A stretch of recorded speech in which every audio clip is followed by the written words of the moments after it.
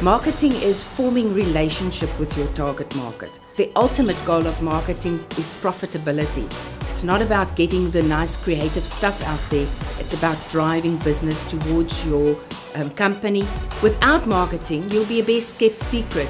During this course, we're going to teach you how to practically implement everything that you've learned and to build a wonderful marketing career for yourself.